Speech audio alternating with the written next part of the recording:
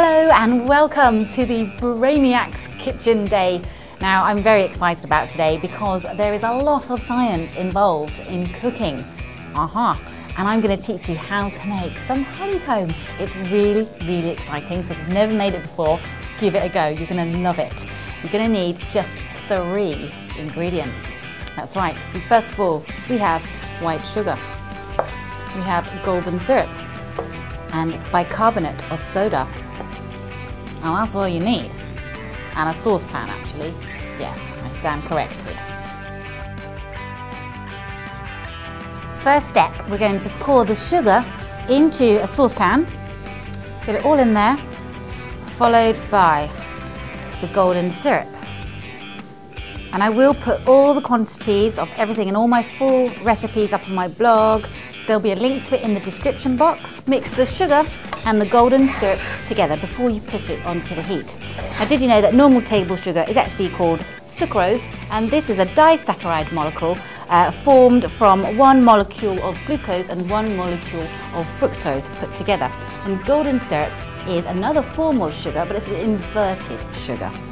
Right, so get these heating and now's the time to stop stirring. We're just going to pop the heat on and wait for this all to melt and bubble up. Now this shouldn't take too long to melt down. I'd say about maybe two to three minutes. Now I'm just keeping a very careful eye on this. I have a thermometer. Now I'm going to pop the thermometer in. When you're making anything to do with sugar, you have to be very careful and you need to make sure you get the sugar to the right temperature. If you want to make something like fudge, it would be uh, a lower temperature of say perhaps 113 degrees C now for the burnt toffee or the honeycomb that we're making, we want it to be about 150 degrees Celsius.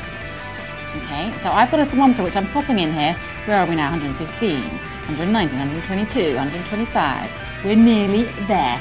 Now another note that I have to tell you, if you have never made honeycomb before and you are young, please get some adult supervision because sugar burns are extremely dangerous. Okay, so you do have to be very very careful. It's one of the most dangerous burns in the kitchen.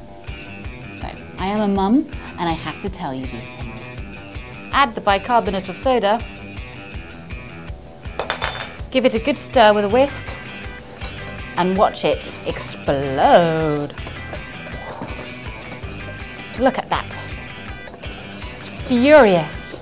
Now, you pour this straight onto your grease-proof paper. Once you've poured the honeycomb into your tray, leave this to cool down. And then you can crack it and eat it. Yes. And here is the finished product. As you can hear, it's very hard. So now all we have to do is you just give it a good tap with a knife and break it up, crack it into all sorts of bits. Oh, it's very good. Delish. Check out that. So there we go. Now you can either smother your honeycomb in chocolate and make a Crunchie bar or just eat it as it is.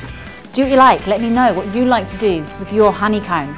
If you haven't subscribed, then hit subscribe because I do new recipes every single week coming straight to your inbox. And join me again for another Geek Week series special. Thank you.